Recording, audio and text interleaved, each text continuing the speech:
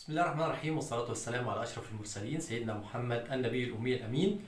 النهاردة خبر مفزع جدا القبض على عصابة الرمال البيضاء. إيه عصابة الرمال البيضاء؟ ده اللي هنعرفه بعد الفصل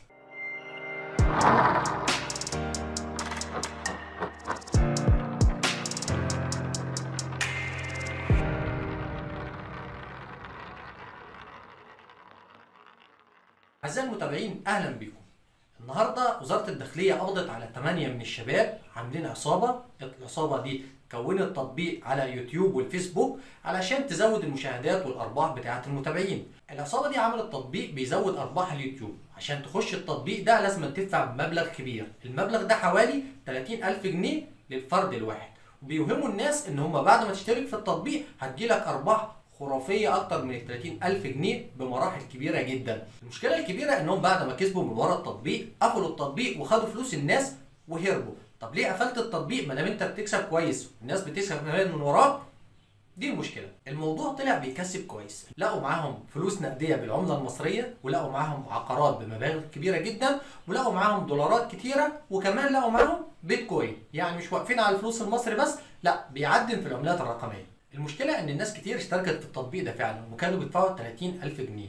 تخيلوا إن ثروة الشباب دول أو الولاد دول كان معاهم 20 مليون جنيه فلوس نقدية موجودة في البيت وكان معاهم 2 مليون و800 ألف أرصدة في البنك.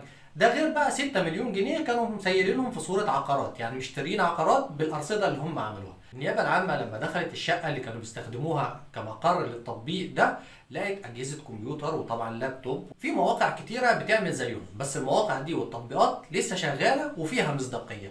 لو انت عايز بقى ما يتنصبش عليك زي الناس دي تقدر تتعامل عن طريق البريد. يعني إيه عن طريق البريد؟ لما أنا اطلب منك ان انت تحول لي فلوس مقابل خدمة معينة وانت ما تعرفنيش تطلب مني الاسم الكامل والرقم القومي وتروح على أقرب مكتب بريد وتحول لي على رقم البطاقة بتاعتي أو رقم القومي تحول لي عليه فلوس بحيث إن أنا لو نصبت عليك تعرف توصل لي في أي مكان أنت معاك اسمي ومعاك الرقم القومي. وما تسمحش بأي حد يقول لك بقى حول لي على فودافون كاش أو موبينيل كاش مع احترامي للخدمات المحترمة دي كلها.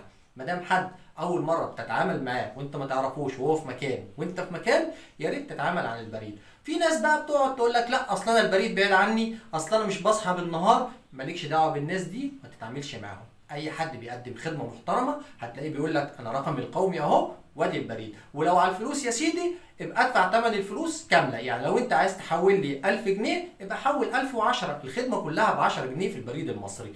أظن كده إن أنا أكون وفرت عليكم كويس جدا. خلي بالك عشان في بعض التطبيقات بتنصب على الناس. في شباب بينصب على الناس بهدف الربح السريع. خلوا بالكم وحافظوا على فلوسكم.